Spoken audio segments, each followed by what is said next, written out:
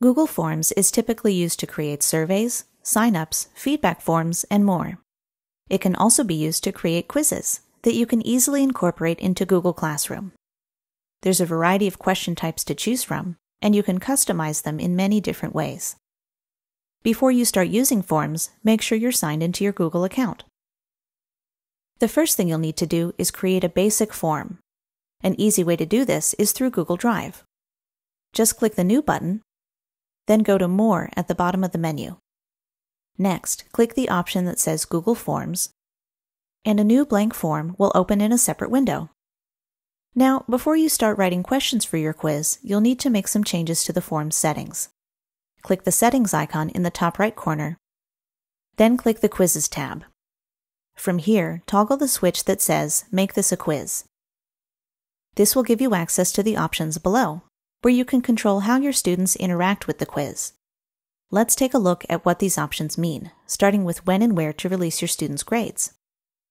With immediately after each submission, students will receive their grades automatically as soon as they finish the quiz. You may want to use this option if your quiz is entirely multiple choice. The other option lets you review each quiz manually before giving students their grades. This is a good choice for quizzes that require a lot of typed answers.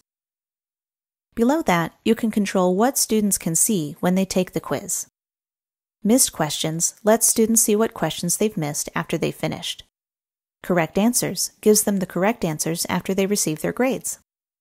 Finally, point values let students see the total points for the quiz and how many points they earned for each question. Once you've chosen your settings, go ahead and click Save. You can then name your quiz and start writing questions. Now, for each question in your quiz, you'll need to define the correct answer. To do this, click Answer key in the bottom left corner. From here, the options will be different depending on the question type you're working with.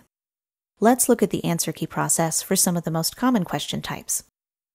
For multiple choice or checkbox questions, all you have to do is select the correct answer or answers. Whatever you've chosen will be highlighted.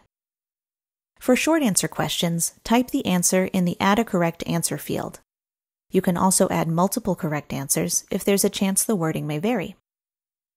If you check the box that says Mark all other answers incorrect, all answers that don't match will automatically be marked wrong.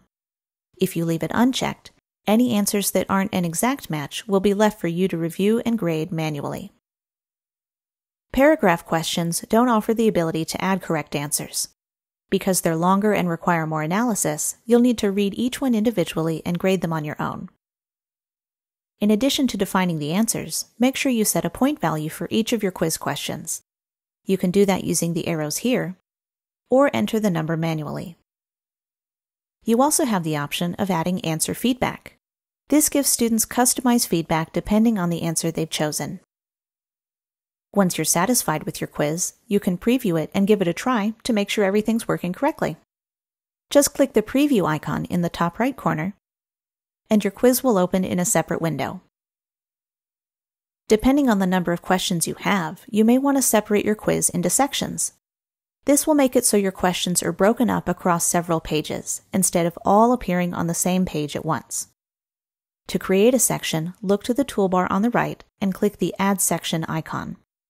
A section will appear below wherever you happen to be in the quiz. Go ahead and use the field here to give your section a name. To move a question to a different section, just hover near the top, then drag and drop it into place. Once you've finished creating your quiz, you'll need to bring it over to Google Classroom. Fortunately, the process is simple. You can attach forms to your assignments the same way that you attach documents or links. When creating an assignment, just click the Add button, then choose Google Drive. Locate and select the quiz you've created, and when you're ready, click the Add button.